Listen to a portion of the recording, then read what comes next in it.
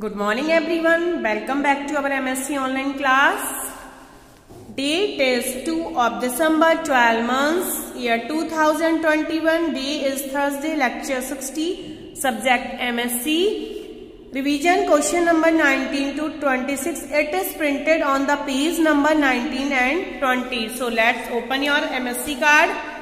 Question number 19 is When do you go away from God?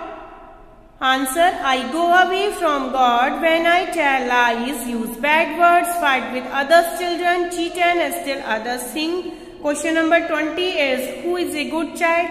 A good child loves God, obeys his parents and teachers and learn his lessons well. 21.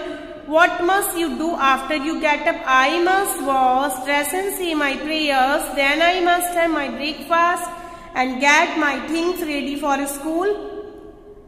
22. Who has given you your parents? God has given me my parents. 23. What does your father do for you? My father works hard and gets money for my home. My father loves me. Page number 20. Question number 24 is What does your mother do for you? Answer is My mother feeds me, clothes me, teaches me and loves me. Question number 25 is what must you do for your parents?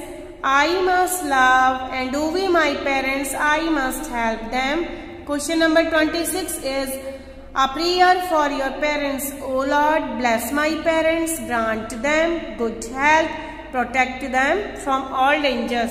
So, you have to revise the question answer from your MSc card. Page number 19 and 20 पर आपके question answer given है। 19 से लेकर 26 तक की question आपके second UT में आएँगे। Okay so